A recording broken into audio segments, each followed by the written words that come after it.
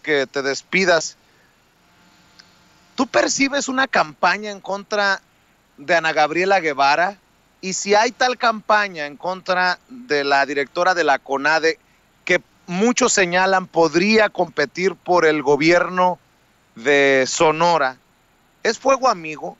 Te digo porque ahora salen los abogados de quienes presentaron las denuncias contra Ana Gabriela Guevara por presunto presuntos sobornos, por pedir presuntos sobornos, ahora salen a decir que les ofrecieron sobornos para que retiraran las, eh, las denuncias, pero sin presentar pruebas, sin decir más. Dicen a Gabriela Guevara, le ha entrevistado en repetidas ocasiones, que es una campaña negra en su contra. ¿Cómo lo ves tú desde tu trinchera ya?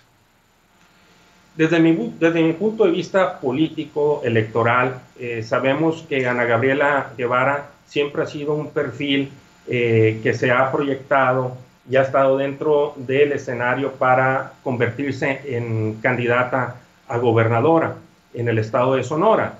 Y, y la verdad que eh, la impresión que tengo hasta este momento de conformidad a lo que se ha dado es que ha sido muy claro que, los señalamientos y cuestionamientos hasta este momento, que no hasta este momento no, no, no han resuelto las autoridades, eh, desde mi punto de vista tiene un fin de eh, sacar, descarrilarla rumbo, rumbo a la candidatura del 2021 en Sonora. Ese es, el análisis que yo tengo. Y cuando tú, me, cuando tú mencionabas ahorita que si puede ser fuego amigo, claro que puede ser fuego amigo. Yo lo, es más, yo creo que la hipótesis es más fuego amigo que, un partido externo o un partido este, contrario o adversario al Partido del Trabajo. Lo veo, queda, queda claro que esto es fuego amigo en contra de, de Ana Gabriela Guevara.